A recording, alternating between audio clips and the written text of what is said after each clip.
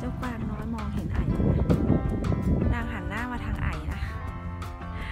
แล้วนางก็บอกว่านั่งนางก็นอนอยู่เฉยๆ เออ มันซูม มันซูมไปต่อไม่ได้แล้วอะ่ะ เออ ยืนขึ้นหน่อย ยืนขึ้นหน่อยพี่ๆน้องๆจะได้เห็นนะออ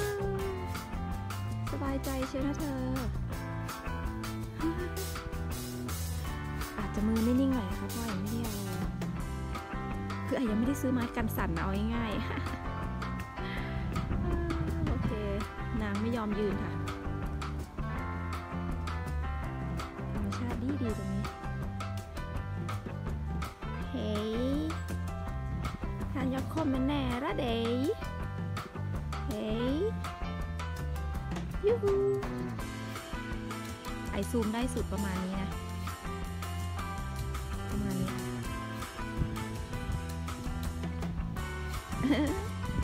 นั่งนิ่งจ้ะโอ๊ยโอ๊ยโอ๊ยตกใจเนาะพี่ตกใจเนาะโอเคโอเคงั้นไหนไปดีกว่าเนาะไม่รบกวนเขาละ